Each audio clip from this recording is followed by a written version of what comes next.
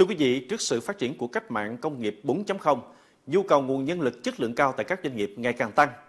Để nâng cao năng suất chất lượng sản phẩm, đáp ứng yêu cầu ngày càng cao của thị trường, các doanh nghiệp trong tỉnh đã chủ động phối hợp, liên kết hoặc tự đào tạo nguồn nhân lực phù hợp.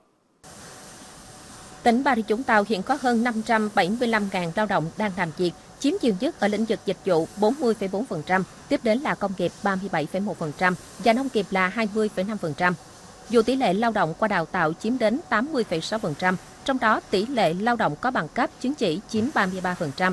Nhưng sau khi tuyển dụng, hầu hết các doanh nghiệp phải tổ chức đào tạo lại cho phù hợp với yêu cầu công việc.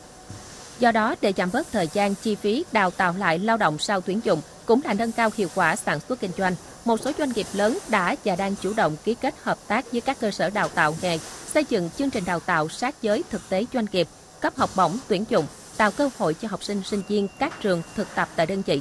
Thông qua đó tuyển dụng nhân sự, đáp ứng yêu cầu, vị trí, công việc.